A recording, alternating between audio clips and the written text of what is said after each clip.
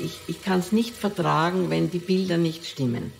Ja, also welchen Bildausschnitt ich von was wähle, ist bereits die Aussage.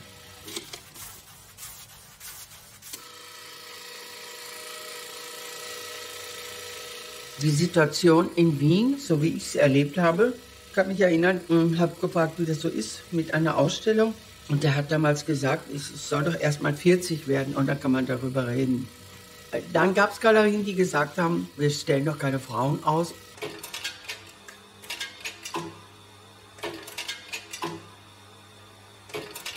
Wir bedauern, da.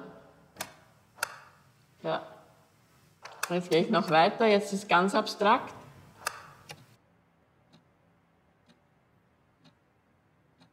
In einer Biografie, wenn man über die eigene Biografie nachdenkt, dann weiß man, wie viel Vergangenheit in der Gegenwart ist, wie man sich damit auseinandersetzen muss, um mein eigenes Verständnis von Frau überhaupt klar zu bekommen.